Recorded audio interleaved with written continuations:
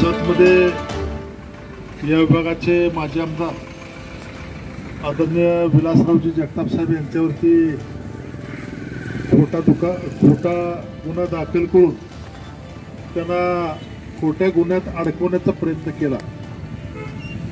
आम्हाला माहिती आहे आमचं सरकार नाही आहे परंतु केंद्रात सरकार आहे हे लक्षात त्यांच्या पण असलं पाहिजे.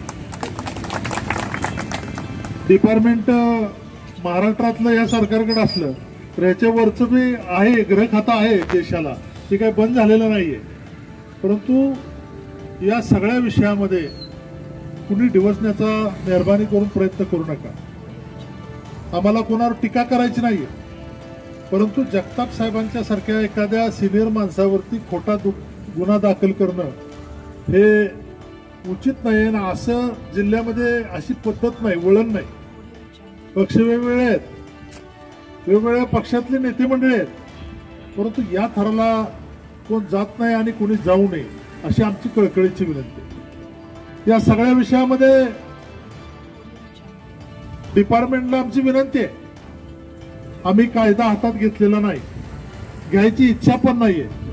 परंतु अशा पद्धतीनं तुम्ही पुढे गेला तर जत बदली नाही पण जिल्ह्यातली कायदा सुव्यवस्था बिघडल्याशिवाय राहणार जतमधली बिघडेलच पण जिल्ह्यामध्ये सुद्धा बिघडेल आणि मग जिल्ह्यात आम्हाला टोटल जिल्हा बंद करावा लागेल.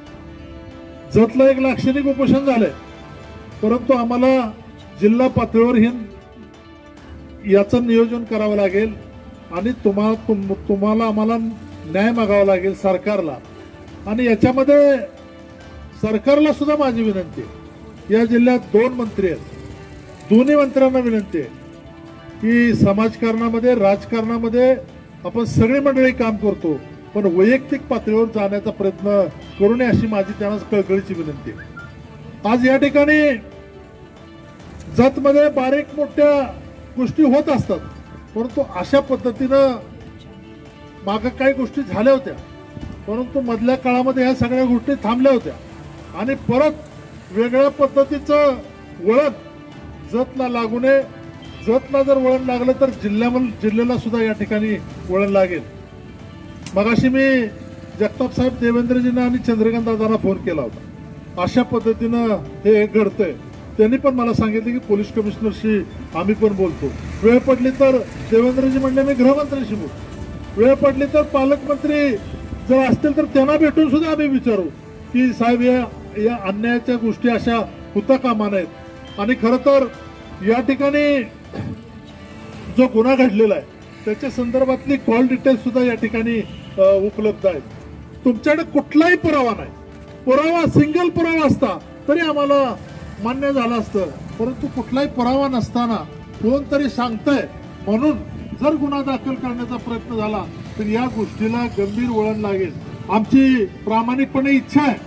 आमची डिपार्टमेंटला सुद्धा विनंती आहे की कळकळीची विनंती आहे. की कायदा हातात घेऊ नका घ्यायला लावू नका.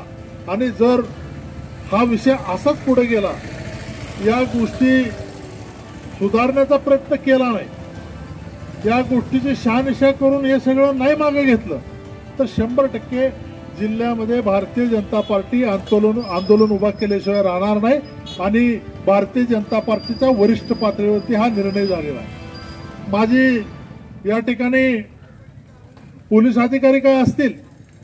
मी पोलीस अधिकाऱ्यांना सुद्धा विनंती करणार आहे की राजकारणात नेते पुढारी नेहमी बदलत असतात. तुम्हाला सगळ्या मंडळींना नोकरी करायची असते. त्यामुळे तुम्ही कोण सांगताय म्हणून काय करणं बरोबर नाहीये. कायदा सुव्यवस्था बिघडवायची का सरळ ठेवायची हे सगळं तुमच्या अधिकाऱ्यांच्या हातात आहे. त्यामुळे तुम्ही बॅलन्स काम केलं पाहिजे.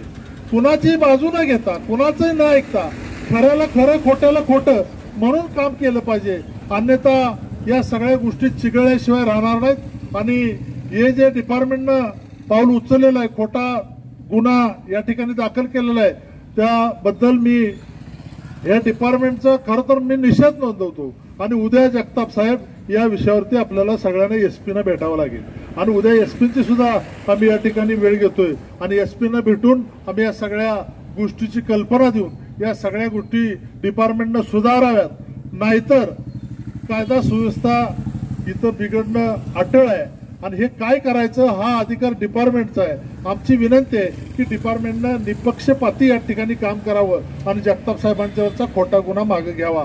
एवढंच या निमित्तानं विनंती करतो. परत एकदा या झालेल्या गोष्टीचा निषेध करतो. आणि मी माझ्या चर्चेचं संपवतो.